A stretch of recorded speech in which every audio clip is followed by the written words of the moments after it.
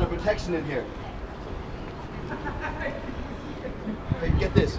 Thank you for listening. I write This just for you. Finest, finest work. Doesn't it bother you, Ahmed, that L. Ron Hubbard was a racist? You're making all this money for David Miscavige. He doesn't even What's get that Stuart Collins' racist name about right. blacks? How bad does that look? The world outside, which you don't know of anymore, are looking at this and fucking laughing at me. You don't feel stupid. They're filming. They just get data protection here again because they came in here on my behalf already. Can you get out of your property? Get the camera out of my face. Get out of our property. I'll wait till the cops You're already on on our property. Look. look, this is your shoes. You're violating me by pointing that camera at me, so I'll violate you in return. You do say all are welcome. How does that sound? You do say all are welcome. Yes. Are you discriminating against us in some way? Are we not welcome in your church? Because according to the High Court ruling in England, like anyone is welcome in the church.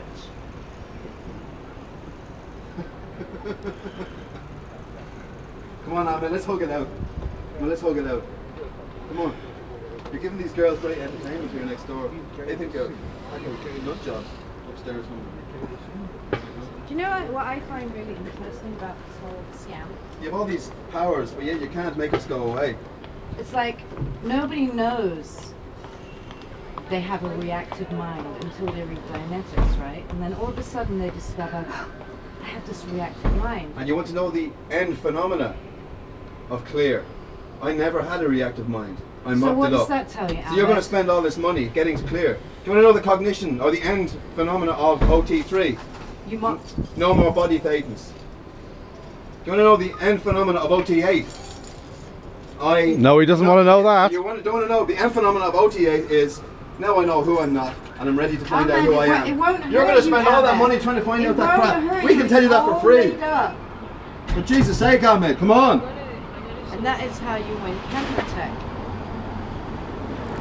Bye. See what you're going to do is start telling them that danger. Yeah. No, just not. I never had my own reactive mind.